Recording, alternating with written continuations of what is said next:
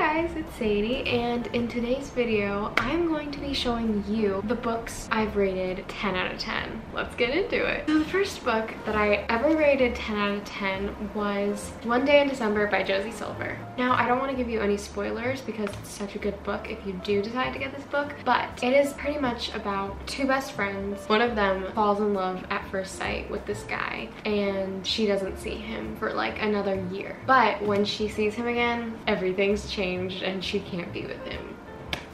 it's frustrating, but it's really good and it had me hooked and I couldn't put it down and I'm pretty sure I finished it in like a day. So that is the first book that I've rated 10 out of 10. Please go read this book. I love it so much. And then One Day in December is 392 pages, so it's easy. It's easy! The next book that I rated 10 out of 10 is The Two Lives of Lydia Bird. This book ruined me. It ruined me. That's that's how I can explain it. It's pretty much about it's about a girl. It's about a girl who her fiance and best friend were in a car accident, but her fiance passed away in the car accident. She can't sleep after that, so she's prescribed sleeping medication. But when she takes the sleeping medication, she's transported to a world where he's still alive. If you need to cry, read this book. Trust me, this is such a good book. The Two Lives of Lydia Bird is the second book that I rated 10 out of 10. The Two Lives of Lydia Bird is 368 pages, a nice short read. It's really easy. The third book that I've rated 10 out of 10 is called Just Last Night by Mhairi McFarlane. It is about a group of friends and an accident happens. I'm not gonna tell you what the accident is or what happens, but it really opens your mind up to everything. It's deep, it's really deep, and it really touches on friendships. I didn't think that this book would actually be like that. I thought it would be like something completely different. It was so good. Yes, I highly suggest reading this book. It's just too good not to. This book is 393 pages. Not bad.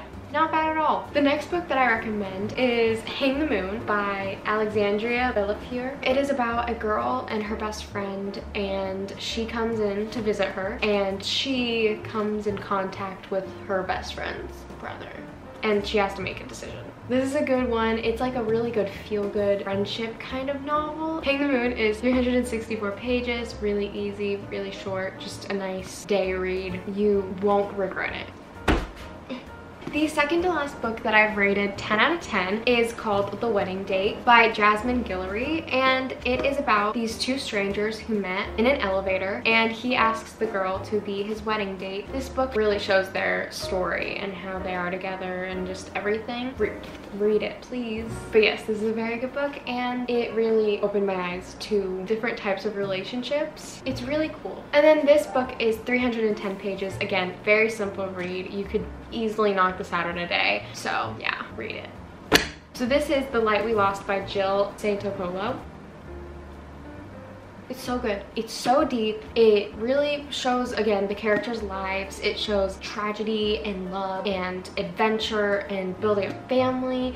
It's nothing how I thought it would be. I was worried it was going to be cheesy, you know, like other novels, like some of these. If you're into romance, this one, buy this one. It's so good. And i'm not even going to tell you anything about it. I'm just telling you that it's so good. I love this book so much. And again it's about tragedy and love and family and friendship and just coming together as humans and helping each other out. But yeah such a good book. Highly recommend it. And it's really it's a really easy read. This book is 321 pages. Really simple you guys. Really simple. It is my favorite book.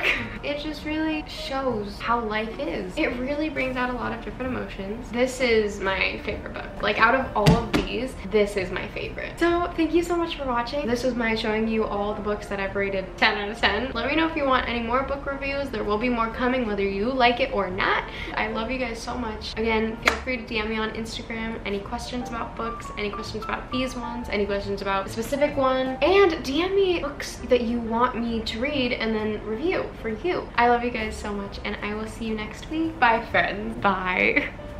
Bye.